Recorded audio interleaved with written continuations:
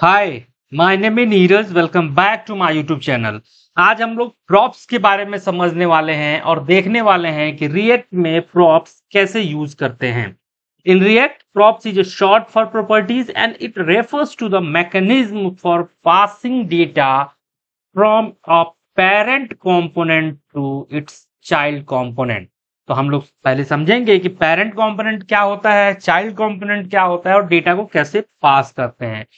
Here is how props work in React. Parent component, the parent component define the child component as a specific the props that it want to pass down. Child component, the child component receive the props and use them to render its output. Immutable data props are immutable, meaning that they cannot be modified by the child component. And parent to child pass hota hai props. ठीक है? तो चलिए project को open करते हैं और practical करके देखते हैं कि ये प्रॉप्स होता क्या है और इसका यूज़ कैसे करते हैं। बेसिकली वेरिएबल्स कह सकते हैं कि जब एक कंपोनेंट से दूसरे कंपोनेंट में डेटा ट्रांसफ़र करना होता है तो हम लोग प्रॉप्स का यूज़ करते हैं।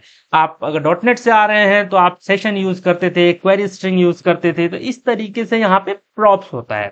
प्रोजेक्ट को ओपन करते हैं ओपन विद कोड कर लेते हैं। और ऐप डॉट जेएस में आते हैं सबसे पहले, ठीक है? इंडेक्स डॉट जेएस ठीक है? यहाँ पे अभी इसको हटा देते हैं सब कुछ क्लियर कर देते हैं थोड़ा सा ये ऐप डॉट जेएस है हमारा, ठीक है? ऐप डॉट जेएस में हमने ये सारी चीज़ें यहाँ प्रिंट कराई हुई है, ठीक है? अभी इसको हटा देते हैं, हमको ज़रूरत नहीं है। मान लीजिए कि हमको यहाँ से इंडेक्स डॉट जीएस हमारा पेरेंट है, क्योंकि ये ऐप हम लोग यहाँ यूज़ कर रहे हैं। कहाँ से? इस ऐप डॉट जीएस से ऐप फ़ंक्शन हम लेके आए हैं इंडेक्स डॉट जीएस पे और यहाँ पे यूज़ कर रहे हैं। तो पेरेंट हमारा इंडेक्स डॉट जीएस है और चाइल्ड हमारा ऐप डॉट जीएस है। ऐप डॉट जीएस में हम मान के चलिए कि यहाँ पे कुछ लिखे हुए हैं। Hello this is Neeraj right और जब इसको रन करते हैं टर्मिनल में जाएँगे, इसको एनपीएम स्टार्ट करेंगे तो ऐसे ये हेलो दिस इज़ नीरज लिख के आएगा। लेकिन आप चाहते हैं कि ये जो नाम हमने यहाँ हार्ड कोडेड किया है, यहाँ से न ले, यहाँ से जो भेजे वो ले तो इसको हम लोग प्रॉप से हैंडल कर सकते हैं। जैसे कि हम क्या करेंगे, यहाँ लिखेंगे नेम इक्वल टू मैं यहाँ कर दूँगा नीरज कुमार तिवारी, ठीक है? और यहाँ पे एज ए प्रॉप्स मैं इसे रिसीव कर लूँगा। पैरामीटर का नाम जो होगा प्रॉप्स होगा।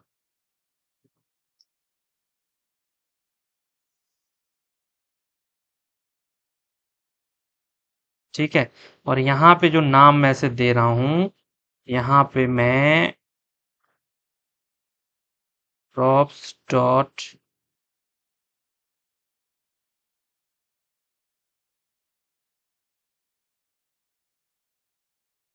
देखिए, नीरज कुमार तिवारी, हमने क्या किया?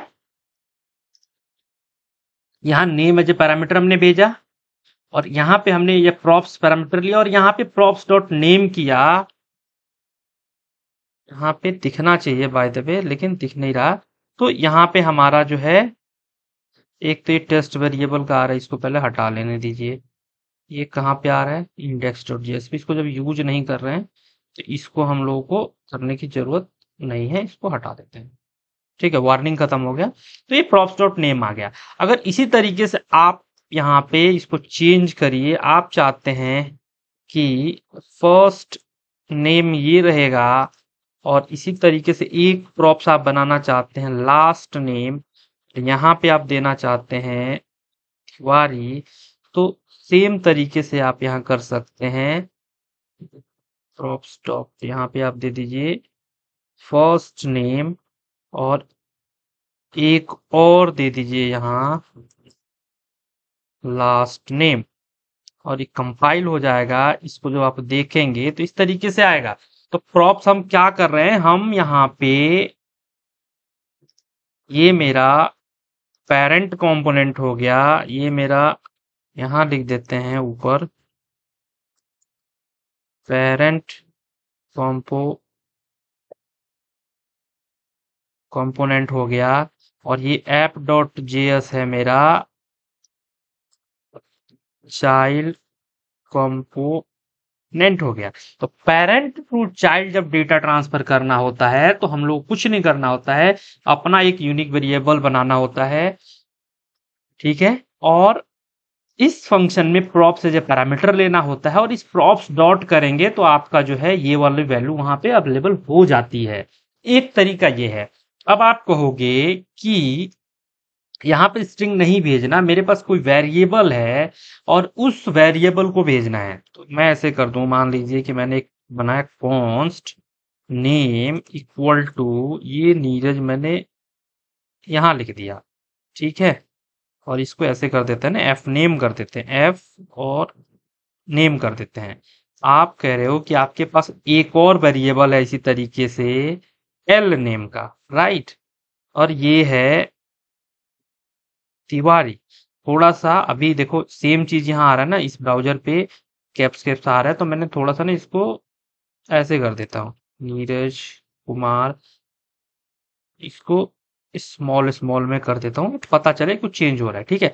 तो आप कैसे भेजोगे? तो उसके लिए सिंपल सा करना है कि ये स्ट्रिंग यहाँ से हटाना है, इसको करली ब्रेसेस के अंदर लेना है, यहाँ पे एफ़ नेम करना है, इसको भी हटाना है, इसको करली ब्रेसेस के अंदर लेना है, और यहाँ पे क्या करना है? एल नेम करना है और प्रोजेक्ट को जब आप रन करोगे तो वहाँ आपको दिख जाएगा। तो एक तो वो हो गया आपका कि आप जो है आ, सिंपल स्ट्रिंग यहाँ पास कर दो। दूसरा हो गया कि आप यहाँ पे ए वेरिएबल बना के वो पास कर लो और उसके बाद अगर आप कहोगे कि जेसन डेटा अगर आपको पास करना है तो उसका भी तरीका है। जेसन डेटा भी हम लोग पास कर सकते हैं। मैं आपको दिखाता हूँ। और जेसन डेटा का मतलब मान लीजिए कि आपको क्या करना है? जेसन डेटा में अगर आते हैं इसको हम कर देते हैं नेम और यहाँ पे जाते हैं। जेसन डेटा का मतलब होता है कि ऑब्जेक्ट आपको भेजना है तो यहाँ पे हम बनाते हैं नेम और इसमें हम पास कर देते हैं आपका नीरज और इसमें आम, ये मेरा हो गया फ़र्स्ट नेम नीरज। और इसमें एक और भेजना है हमको लास्ट नेम इसको हम कर देते हैं तिवारी। ठीक है थोड़ा सा मीनिंगफुल कर देते हैं। ठीक है, और अभी इसको हटा देते हैं। ठीक है। यहाँ ऑब्जेक्ट बनाते हैं तो हम लोग कोलन का यूज़ करते हैं। ठीक है, अब ये नेम हमको भेजना है। कैसे भेजेंगे? यहाँ पे पैरामीटर हम नेम ले लेते हैं और इसमें हम क्या कर देते हैं ये नेम भेज देते हैं। ठीक है? तो हमने एक ऑब्जेक्ट बना दिया। आप जेसन ऑब्जेक्ट कहिए, जो भी ऑब्जेक्ट कहिए, एक ऑब्जेक्ट बना दिया नेम करिए, जिसमें फ़र्स्ट नेम लास्ट नेम हमने किया और ये नेम कर दिया। अब इसको यहाँ रिसीव करने का क्या तरीका है? यहाँ पे props dot props dot name करेंगे हम। एंड देन हम करेंगे वेरिएबल का नाम क्या है? फ़र्स्ट नेम इसी तरीके से हम करेंगे यहाँ पे लास्ट नेम इसको सेव करेंगे कंपाइल सक्सेसफुली हो जाएगा। यहाँ रन करेंगे तो ये नीरज तिवारी इसमें अगर आप मान लो कि आपको चाहिए कि एक पैरामीटर और भेजना है, आपको एक पैरामीटर और भेजना है एज तो आप यहाँ पे कट्टी ले सकते हैं और इसको आप ऐसे यूज़ कर सकते हैं। यहाँ पे एज ऐसे यूज़ कर सकते हैं। आपको दिखा देता हूँ थर्टी तो सिंपल है कि प्रॉप्स क्या होता है? कोई भी इंफॉर्मेशन, अगर पेरेंट कंपोनेंट से चाइल्ड कंपोनेंट में हम लोगों की पास हम लोगों को पास करने की ज़रूरत है, वहाँ पे हम लोग प्रॉप्स का यूज़ करते हैं। सीधा सीधा पेरेंट टू चाइल्ड यहाँ पे प्रॉप्स आता है, ठीक है? और यहाँ पे क्या करते हैं? हम लोग एज ए स्ट्रिंग भेज सकते हैं, उसके बाद एज ए वेरिएबल भेज सकते हैं एज ए ऑब्जेक्ट भेज सकते हैं, किसी भी तरह का डेटा हम लोग एज ए प्रॉप्स भेज सकते हैं, उसको रिसीव कर सकते हैं। भेजने का क्या तरीका होता है? भेजने के लिए एग्ज़ाम्पल है कि हमने यहाँ पे एक वेरिएबल लिया, इस तरीके से यहाँ भेजा और इसको एज ए प्रॉप्स पैरामीटर से रीड करके यहाँ हमने दिखा दिया। तो सिंपल अगर आपको कोई भी information parent to child transfer करना है, वहाँ प्रॉप्स का यूज़ करिए। और ये इंटरव्यू में क्वेश्चन पूछा जाता है कि प्रॉप्स क्या होता है और ये पेरेंट टू चाइल्ड होता है कि चाइल्ड टू पेरेंट होता है। तो जनरली जो प्रॉप्स होते हैं पेरेंट टू चाइल्ड होते हैं और जो है किसी भी तरीके का डेटा आप स्ट्रिंग भेज सकते हैं वेरिएबल भेज सकते हैं ऑब्जेक्ट भेज सकते हैं, जिस तरीके से जिस फॉर्म में आप भेजेंगे, उसी फॉर्म में आपको रीड करना होता है। तो हम उम्मीद करते हैं कि आपको ये वीडियो ज़रूर पसंद आया होगा। आज के इस वीडियो में इतना ही। थैंक यू वीडियो को शेयर ज़रूर करिए लाइक ज़रूर करिए और हाँ चैनल को सब्सक्राइब कर लीजिए।